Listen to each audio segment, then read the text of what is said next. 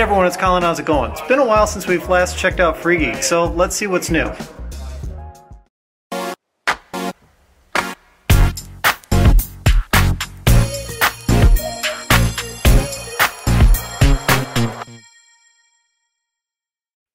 Free Geek is a nonprofit based in Portland, Oregon, and I visited the Minneapolis location.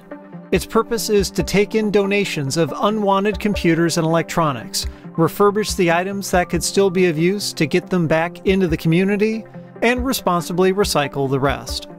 A large portion of the work is performed by volunteers, some of whom are experts, and others who are there to learn. So I'm right at the entrance, and look at this stuff just right off the bat here. This is the biggest pile of older stereo equipment that I've seen them have. I've actually got a CD player very similar to this one. In fact, yeah, it's almost the exact same model. Dual cassette deck. I might make them an offer on that one to be honest. Multi-disc CD changers, DVD players. Look at some of the just the variety of age of equipment is always something that kind of gets me too. You got something that's fairly new, and then stuff that's just much much older. You know, from the 80s. I've seen stuff from the 70s. This is one of those portable video cassette decks. If you remember back in the early days of instead of having the the actual tape mechanism inside the camcorder, you'd hook it up to uh, to something like this, and then this would have a battery in it. And you can see it's got these posts on the side you'd have a shoulder strap. You'd sling this beast over your shoulder and uh, and carry it around so it can record. See, there's the uh, the connectors that the camera would hook up to. Haven't seen one of these in a while. This is all fairly newer stuff. You'll notice that there's a lack of turntables. Uh, my understanding, at least from the last time that I've been out here and talked with them, is the turntables obviously are going to be in high demand. You know, that's a very popular format these days. So they've got a couple of shops nearby that they've kind of got a standing standing relationship with where if turntables come in, these shops will buy them off them, um, like right away. The cartridges, the multi-changers. So this is one of those six disc changers that you have to load all your CDs in and that's nice. Whoever brought this one in included all the changer cartridges. Be kind, please rewind. So here's their kind of recycling the loading dock area where stuff goes out. This is all stuff that's destined to head out. This room just changes on a daily basis. Something that caught my eye when I first wandered through here. Check out these old iMacs. Graphite, I think that one's a blueberry. This green one has my eye. Uh, the bummer is that they're all broken. See, here's parts from one.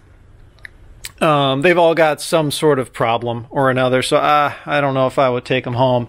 You know, people look at stuff like this, or, you know, this CRT monitor, which I'm told is actually a pretty nice unit and everyone would kind of freak out. Oh my God, they're throwing away all that stuff. Well, here's the problem. It's broken. These are all broken in one way or another. This monitor was broken, which is why they cut the, the video cable off. You look at these, we've got big flat screen monitors. They're all dead or broken in some way that isn't really worth repairing, which kind of sucks. I mean, the, the economy of this whole thing, you know, you would look at some of this, you'd look at you know, something like these CRTs, these TVs back here, oh my God, these would be great for retro gaming. Yeah, maybe, except they don't work. And as much as people want this kind of stuff, what I'm told is, at least in the Minneapolis metro area where I am, we've kind of reached the saturation level with this stuff where if you're gonna look for a CRT to play video games on, you're gonna want the best one you can possibly get. And you're gonna want one that works.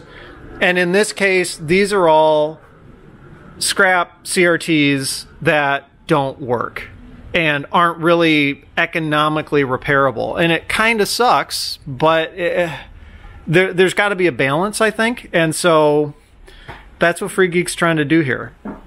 When they take stuff apart, because that's how they make some of their money. They are a non-profit, but you know, to keep the lights on, pay their rent is all the the e-waste that comes in. They they disassemble and send off to recyclers for you know a certain amount of money per pound of whatever type of material it is. Um, I think they said they actually have to pay for CRTs to go out. So it's actually not even free for them to get rid of CRTs, working or not. But just because something isn't modern doesn't mean it's destined for the recycling pile. Free Geek staff and volunteers keep an eye out for tech that could be of interest to retro collectors. Some items get sold in the thrift shop, and others are kept on display for visitors. Here's the thrift store area. All sorts of random odds and ends. I can't remember the last time I've seen so many trackballs in one spot. It's kind of a mix of random cables and adapters and such if you need various types of video cables. An entire bin full of miscellaneous calculators. Something that I'm told is new is this case is now full of video gaming stuff. Apparently video gaming stuff doesn't come in terribly often, but it does show up. PlayStation and a Wii. The one thing you'll notice is that pretty much everything is going to be a few years old. And there's obvious reason for that. It's because, you know, if you've got a place that's based on donations of items, you're not going to have people bringing in the latest and greatest, you know, to get rid of it. Why would anyone do that? So most stuff is a few years old, but if you're into retro anything, I mean any any sort of retro tech, or you need parts for retro tech, random adapters and such, then they're a really good resource for it. More USB chargers than anyone probably needs. And you can get some esoteric stuff too, like actually that's kind of esoteric right there. It's your standard Apple power brick, but it's the Firewire version for the old iPods. And then if you've got retro computing that needs to get fixed up, they've got decent amount of parts for that too. I mean, obviously they've got old computers, like full old computers coming in all the time. But even if you just need a part or two to get stuff working, old school video cards, look at these with the TV tuners. I remember back in the late 90s, the uh, ATI All-in Wonder. Actually, I think that's what some of these might be. Um, the ATI All-in Wonder cards were very popular. Whereas a video card with the tuner built in, video capture. A few wireless routers, but not too many. Those tend to stay valid for longer than the computers themselves, it seems. And then hard drives. If you have an old computer and you need a hard drive for it, SATA drives, and then this is what I really like to see, they keep some PATA drives. Um, obviously, they're not going to have too many mach- full machines that they sell that still use PATA drives. They're a little bit lower than kind of their cutoff, but it's nice to see that they include the drives. And what's nice is all these drives have been tested. They're not just random drives they've pulled out of a thing and then turfed in the bin. All of these have been wiped and tested. See, DBAN pass on all of them. Um, and sometimes they even have the smaller laptop drives too. Something that's quite a bit different this time than the last time I was in is they're very short on laptops. Um, normally, this entire shelf, all through the corners, full of laptops. Apparently, they've been going very quickly, um, which, you know, people, more and more people want laptops. This is the only one they've actually got out right now, this HP. 840 G1, that's actually not too old. It's got a solid state drive in it. Hey, sure someone does a cash donation, do they get a receipt at all or no? Pretty decent specs. If you need a machine, and then you'll notice it's running Xubuntu. They are really interested in the whole open source thing. It gets them out of all sorts of liability with trying to run Windows on machines. A couple of older iMacs. This room is just full of towers. And this is inventory that changes actually quite a bit as well. Um, they get machines from various places, either individual people dropping one off, or like you can see, a whole bunch of identical machines. Businesses will often drop off old machines, um, and I believe there's some sort of tax incentive for them to do so. And then Free Geek will either sell the individual machines, you know, like you can see some of these, they've got the specs and all the, the capabilities, all sorts of form factors and, and whatnot, but they do have kind of a limited a limited, you know, like bottom end to the spec. Most of these are going to be at least dual core, couple of gigs of byte, couple of gigs of RAM, like an 80 gig hard drive at least. Various makes and models, though. You can see all sorts of, you know, kind of name brand ones, HPs and Dells, some Lenovo, and then also just kind of homebrew machines or one-offs. Uh, Core 2 Quad, this would actually be kind of fun for a Windows XP type of rig if you wanted to get into that. So the other thing that happens to a lot of the computers that come in and get fixed up, and all these get fixed up and, and tested and whatnot, is they'll send some out to nonprofits. So if you're a nonprofit org, you know, if you if you need to get a computer or multiple computers and you kind of ask them, they'll they'll hook you up. Same thing with the volunteers. Um, if you volunteer here and put in so many hours, um, after you've reached that threshold, they'll basically give you a computer.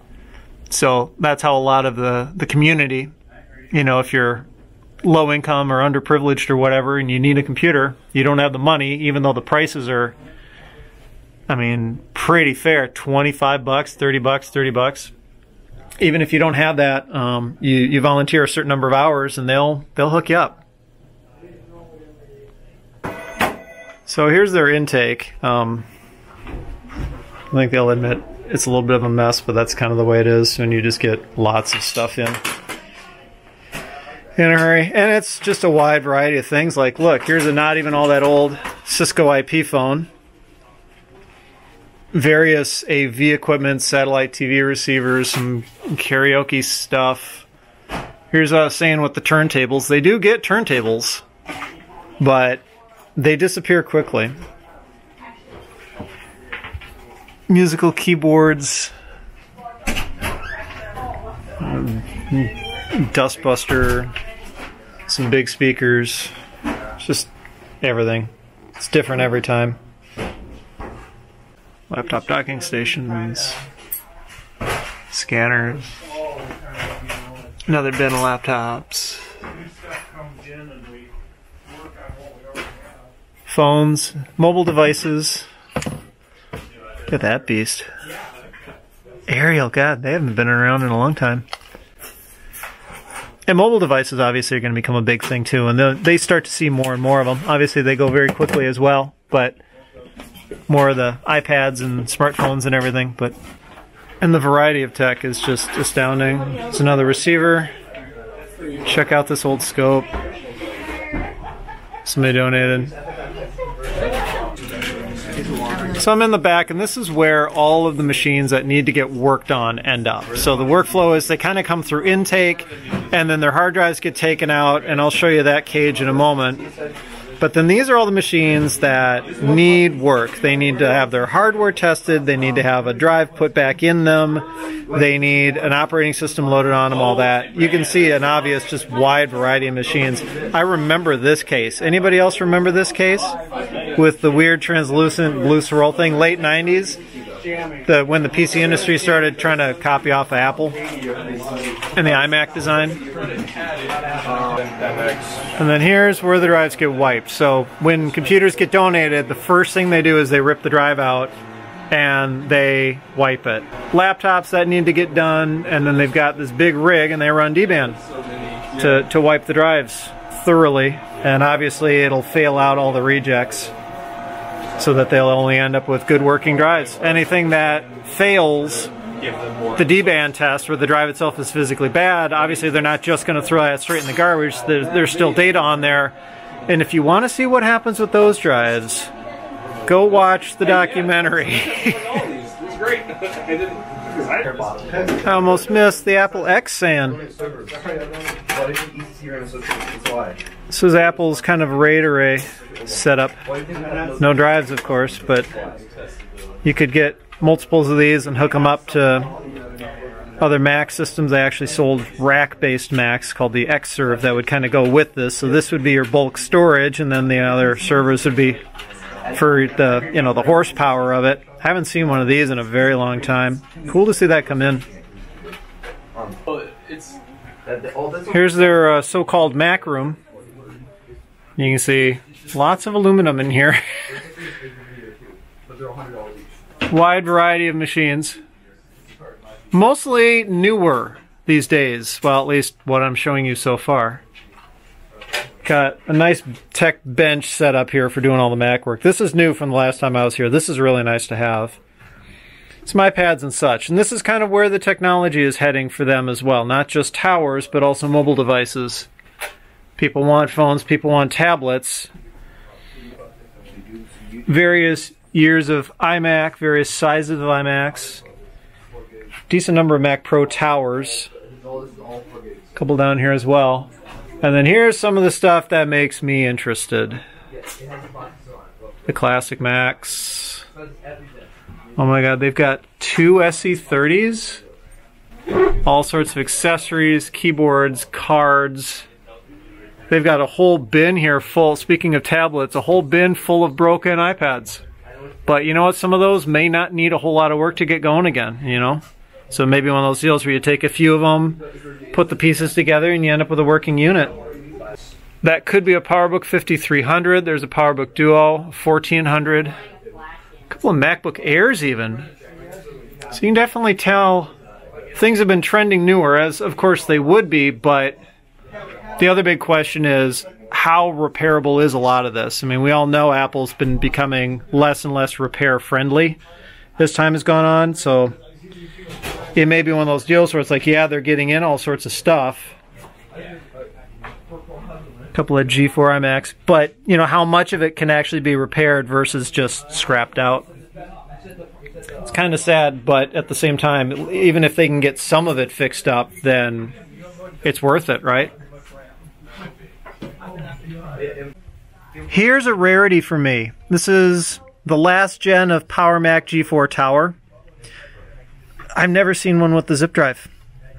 I've always seen it with the two. They called this the mirror drive door model because it's got like it's a mirror. Um, I've only ever seen it with the two where you can have the optical drives because the top one is for the optical and then you could get a second optical in the bottom bay. I've never seen it with the zip drive.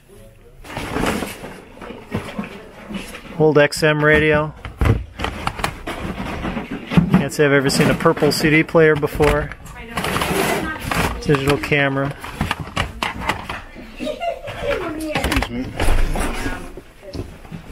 That one's actually in really good shape.